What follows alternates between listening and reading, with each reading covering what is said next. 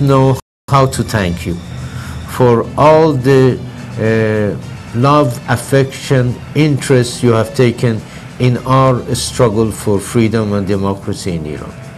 You are one of the greatest, as far as I'm concerned, in the field, and I and many of us, we are your students, and we are learning constantly from you.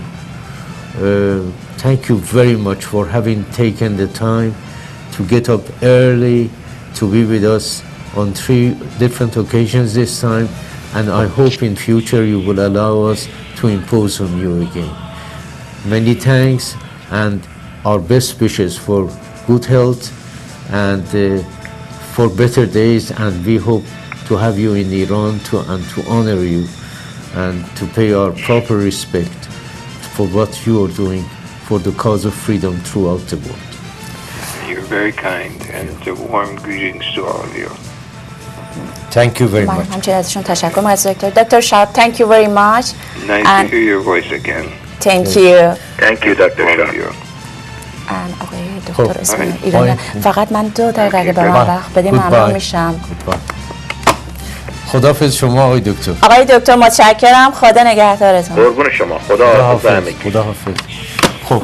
خانم نسرین محمدی چند دقیقه وقت خواستن یه دو سه دقیقه وقت رو بعد اون وقت تموم می‌کنم. مرسی آقای دکتر خیلی متشکرم من راستش می‌خواستم بگم در مورد آقای بهروز جاوید تهرانی زندانی سیاسی که حوادث کوی دانشگاه دستگیر و زندانی شده و شکنجه های زیادی شده بود حکمش تموم شده بود دوران حکمش ولی دوباره اینو می‌برن به دادگاه به اینکه آزاد بشه و دوباره سه سال اینو محکوم به زندان می‌کنن در زندان رجای شهر کرج هستش و جرم جدیدش توهین به مقامات رهبریه. و همینطور آقای کیوان رفیعی که بعد از 6 و 7 ماه سرگردانی که هیچ حکمی براش نداده بودن در زندان رجای شهر کرج هستش اینو به دادگاه بردن و در دادگاه به جای اینکه از این محاکمه کنن جرمشون نوشتن خودشون جرماشون نوشتن فقط ده ثانیه بهش وقت دادن گفتن امضا کن و دوباره اونو برگردوندن به زندان. به امید آزادی ایران و به امید اینکه ما سرنگونی جمهوری اسلامی رو ببینیم. هستن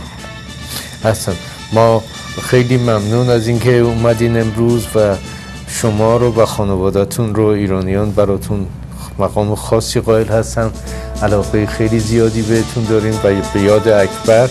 ما برنامه فردامون ساعت پنج و نیم شروع میشه. آقای پروفسور مبارک با ما خواهند بود و آقای پروفسور استفن زونس. با تشکر فراوان از آقای دکتر و برای شما احترام زیاد قائلم و درود میفرستم در اینجا به تمامی هموطنان عزیز متشکرم از شما آقای دکتر عزیز. قربانه.